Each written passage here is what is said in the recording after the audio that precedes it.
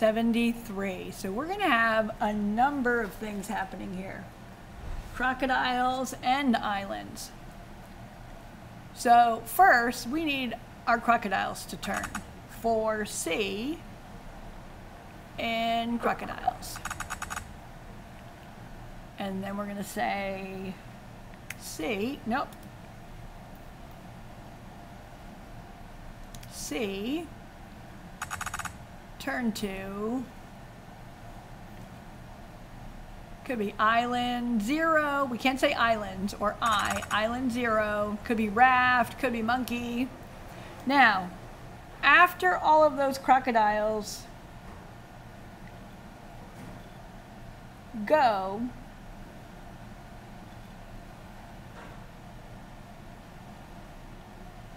that's island zero. So remember, when they go through our array, they go in order.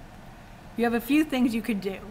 You could, outside of the loop, have your monkey step distance to island zero.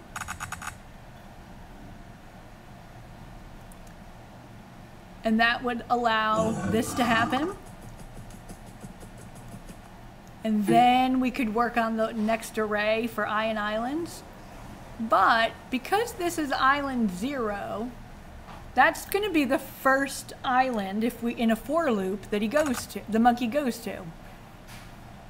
And just like before, what we want to use for i in islands in order to get this for loop done and get to the banana.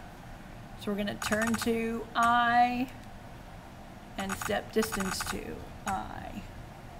But we have two different for loops happening. It's the first time we've ever done that. You also want to make sure this for loop is not indented and inside the other for loop because that wouldn't work.